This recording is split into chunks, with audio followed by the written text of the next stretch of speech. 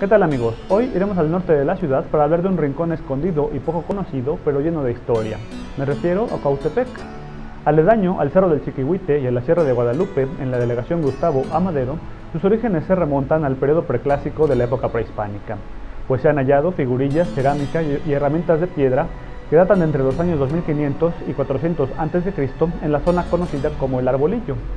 Varios siglos más tarde, el líder chichimeca Xolotl arribó a la cuenca de México, estableciéndose con su pueblo en la vecina Tenayuca y formando un señorío que abarcaría hasta Cuautepec y que más tarde se vincularía con Tlatelolco.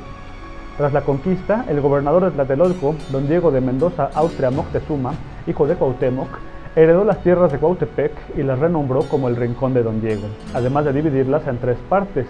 la zona central conocida como el Arbolillo, la zona norte también conocida como el Barrio Alto y la zona sur conocida como el Barrio Bajo.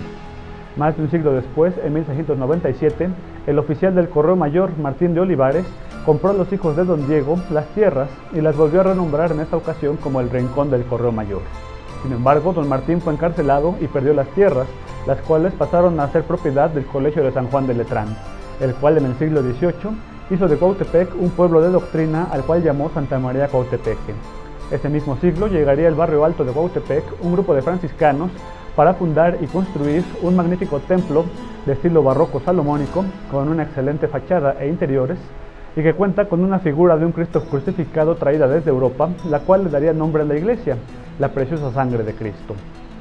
Ya en el siglo XIX, en 1884, se mudó a Cuautepec el músico guanajuatense Juventino Rosas, viviendo en casa de su amigo Fidencio Carvajal y enamorándose de su hermana.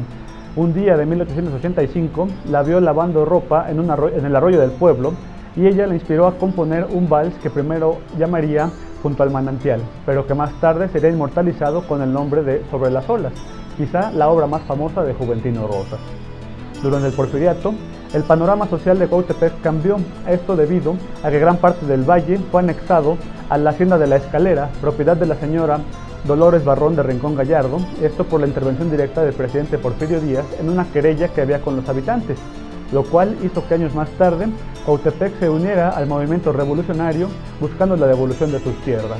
lo cual logró en 1918 cuando el presidente Venustiano Carranza devolvió 200 hectáreas al pueblo, constituyéndose así los primeros ejidos del Distrito Federal en Cautepec tras la revolución. Con el avance del siglo XX, Cautepec se fue urbanizando, pero también fue conservando un poco de su imagen y su ambiente rural, por lo que en los años 40 fue elegido como locación de algunas películas de la época de oro del cine mexicano, siendo quizás la más famosa Los Tres Huastecos,